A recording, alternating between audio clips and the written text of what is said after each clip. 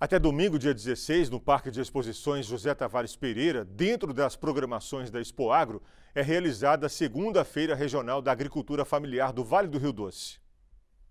A Feira de Agricultura Familiar é realizada pela FETAENG, a Federação dos Trabalhadores na Agricultura do Estado de Minas Gerais.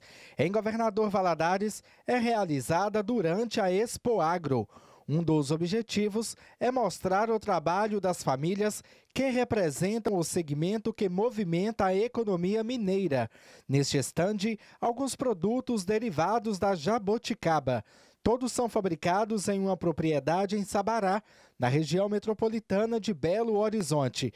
E é a primeira vez que a Meire participa do evento. As expectativas estão ótimas, né? Porque assim, é sempre bom participar de um evento grandioso como esse. A gente sabe que a Expo Agro né, movimenta aqui o comércio local, movimenta os produtores. Então é super importante a Sabarabuçu estar presente nesse evento. Quem também participa pela primeira vez da feira regional é a Esther.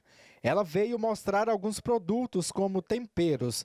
Ela é de Turmalina, no Vale do Jequitinhonha. Eu trabalho com doces, é, conserva de legumes, geleia de abacaxi com pimenta é, e o meu carro-chefe, molhos de coentro, que é o que eu amo trabalhar. Tive a oportunidade de participar uma vez em BH, antes da pandemia, e agora estou aqui em Valadares pela primeira vez. Espero que a primeira de muitas a importância para o, a, o grupo né, de associação, de movimento social, é divulgar seu trabalho. Né? A gente vem para poder divulgar o trabalho, poder mostrar aquilo que nós produzimos na nossa região. Esta é a segunda edição da Feira Regional de Agricultura Familiar do Vale do Rio Doce. Mais de 200 empreendimentos se inscreveram para participar, porém, apenas 40 foram selecionados até por causa do espaço. O evento que começou nesta quarta-feira vai até o próximo domingo aqui no Parque de Exposições José Tavares Pereira. Como a feira é uma vitrine, nós temos que evidentemente que selecionar os melhores, os que estão mais organizados. Não significa que aqueles que não foram selecionados vão ser abandonados. Não, muito pelo contrário. A gente tem um ano para preparar eles, a vocação deles, levar curso de formação para eles. Esse é um mecanismo, é uma, é uma caminhada, né? Alguém vai na frente abrindo os trilhos, outro vem fazendo a picada e o outro vai fazendo a, a rodovia.